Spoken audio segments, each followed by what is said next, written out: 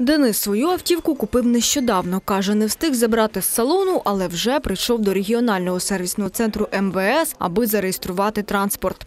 От меня требуется предоставить пакет документов с автосалона, свой паспорт, идентификационный код и оплатить э, квитанции за регистрацию и пенсионный фонд. То есть покупаю ее там в долларах, перевод на гривну, и от того, что скачет курс, от этого будет и меняться цена стоимости в договоре. Аби вирахувати відсоток податку, який треба заплатити за першу реєстрацію автівки, ціну машини ділять на прожитковий мінімум. Цьогоріч він зріс на 81 гривню і становить 2270 гривень. Тому, кажуть, у регіональному сервісному центрі автолюбителям доведеться озброїтися калькулятором. Якщо вартість легкового автомобіля не перевищує 165 розмірів прожиткового мінімуму, то сума буде 3%.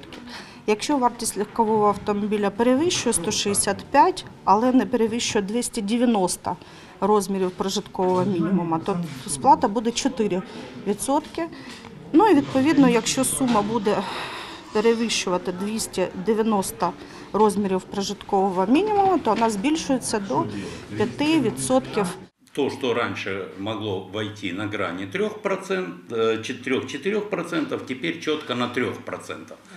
Но учитывая то, что это все равно процент от э, договорной стоимости автомобиля при первом приобретении, а стоимость, к сожалению, привязанная к валюте растет постоянно, то постоянно растет платеж. До категорії, де податок обчислюється із суми понад 650 тисяч гривень, потрапив і новенький Mitsubishi Дениса. Тож за реєстрацію доведеться сплатити 5% від вартості автівки. У сервісному центрі кажуть, оподатковується увесь транспорт, що вперше реєструється на території України.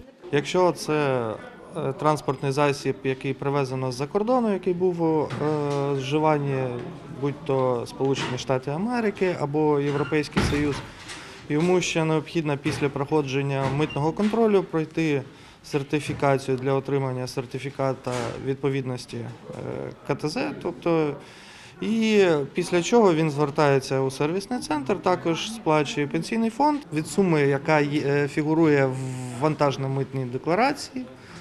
Е, 3, 4 чи 5 відсотків. У 2021 році на Дніпропетровщині вперше зареєстрували понад 600 автівок. Поки це можна зробити лише у сервісному центрі, але вже найближчим часом ця послуга стане доступною автовласникам і онлайн. Інна Таранець, Денис Крикус, Open News, телеканал відкритий.